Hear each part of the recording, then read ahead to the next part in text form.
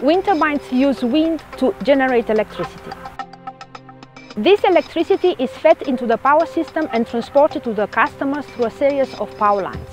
The overall goal of this course is to make you understand how the electricity from wind turbines is integrated into the power system and which are the challenges, solutions for this integration, especially now when the number of wind turbines is drastically increasing, they being often concentrated in groups, forming so-called wind farms.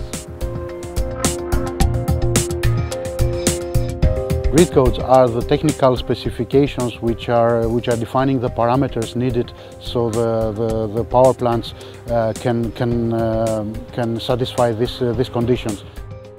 In the course we will learn how grid codes apply to, to wind farms which by this way they become wind power plants because they actually, they actually behave or operate like any conventional power plant in the power system.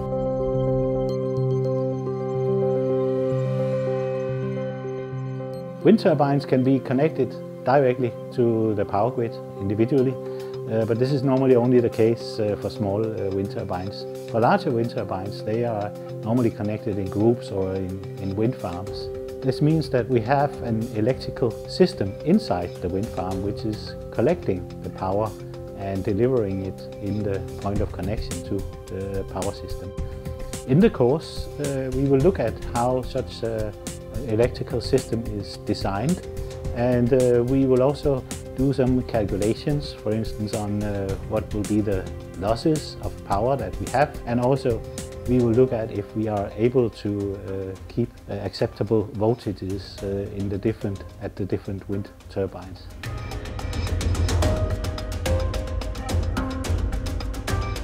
Wind turbines with better software solutions can improve the performance of the system when this is not operating properly.